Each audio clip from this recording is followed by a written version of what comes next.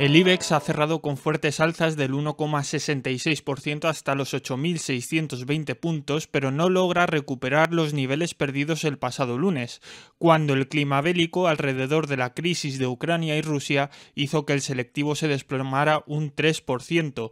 Hoy la noticia es que Alemania y Francia buscan el acuerdo con los gobernantes de Moscú y Kiev en el cuarteto de Normandía.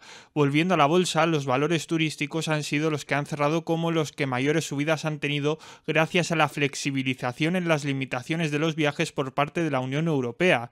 Los ciudadanos con pasaporte COVID no deberán hacerse pruebas diagnósticas para viajar por el viejo continente. Al otro lado del Atlántico, Wall Street espera las conclusiones del Comité de Mercado Abierto de la Reserva Federal en positivo y con importantes subidas para la tecnología. Los analistas anticipan que la primera subida de tipos será en marzo y que Jerome Powell, banquero central, puede dar alguna pista sobre la reducción del balance esta tarde, al terminar el conclave.